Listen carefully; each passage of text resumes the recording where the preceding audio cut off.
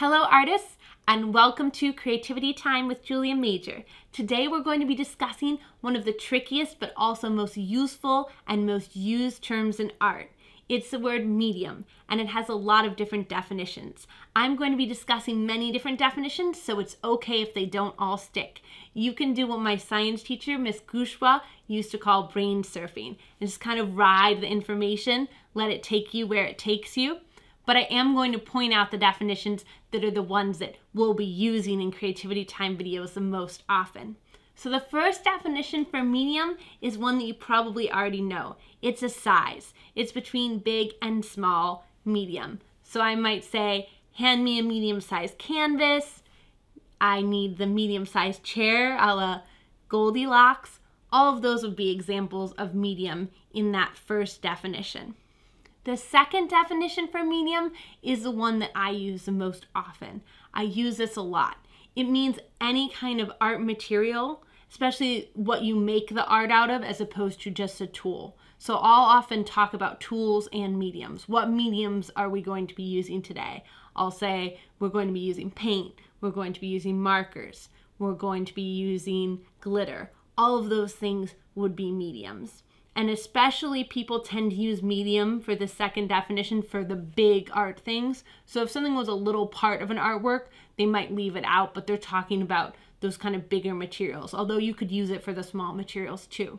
So some examples of a medium for that second definition would be paint markers, oil pastels, watercolors. The third definition of medium is something that you work into paint, ink, or another material to change the consistency and texture or sometimes the shine of it. So you have gloss medium.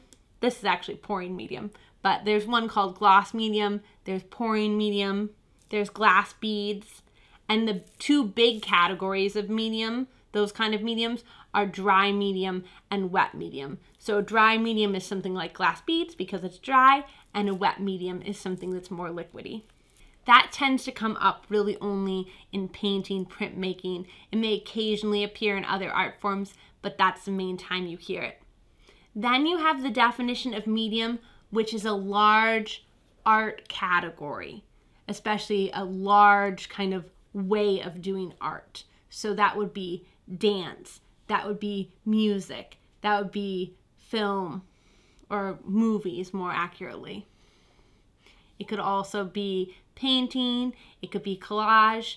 So you can see that it's kind of similar to that other definition I talked about because collage implies what kind of materials you might use, but it's not quite the same thing as stating the materials. So oftentimes people ask artists, what's your favorite medium? If they ask that question, they're either going to be referring to the materials like we talked about before, or they're going to be talking about the large art category. But I've never had anyone correct me if I answer one or the other.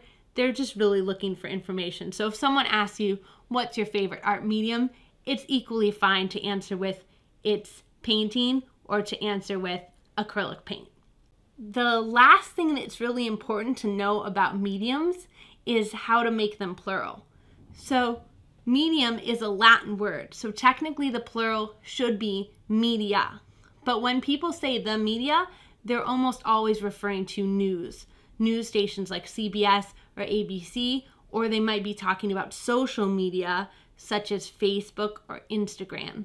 So, to add clarity, artists nowadays tend to pluralize, meaning making it more than one, the word medium by calling it mediums instead of just saying media. But you may hear people say media as well.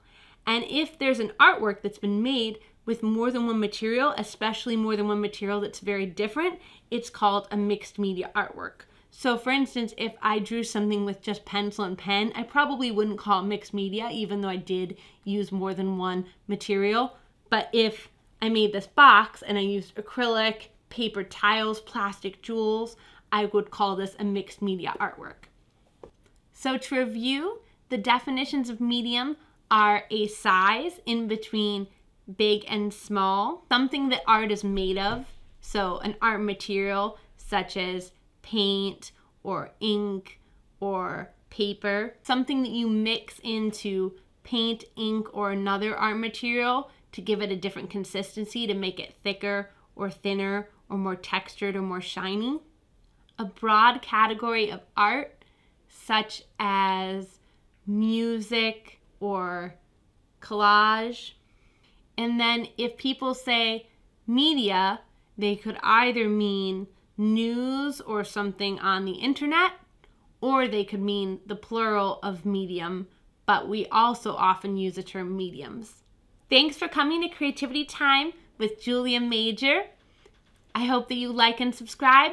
Have a very colorful day and have a lot of fun with your mediums.